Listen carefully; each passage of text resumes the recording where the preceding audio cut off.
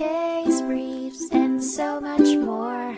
LS Data's got what you're looking for.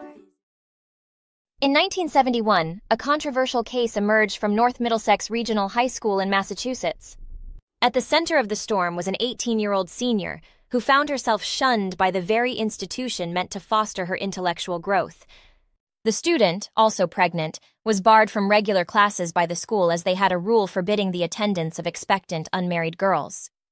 This policy triggered a significant legal affair when she decided to fight against what she felt was an glaring injustice. Doctors, social workers, and even her fellow classmates testified that she was in full health and capable of attending school during regular class hours without any disruption.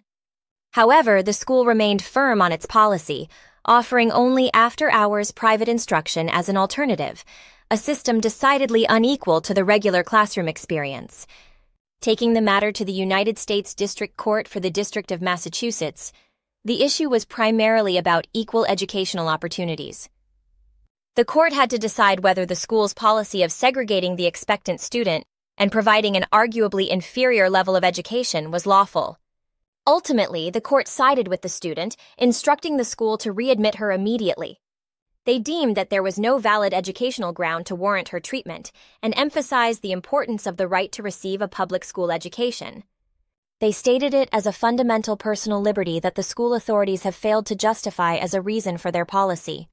The decision was a triumph for the unfortunate student and a victory for equal educational rights. It is a significant reminder that discrimination, even on the basis of pregnancy, has no place in an institution dedicated to cultivating young minds.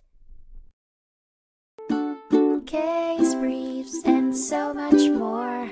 LS Data's got what you're looking for. Visit lsd.law, elevate your mind. Leave the stress of class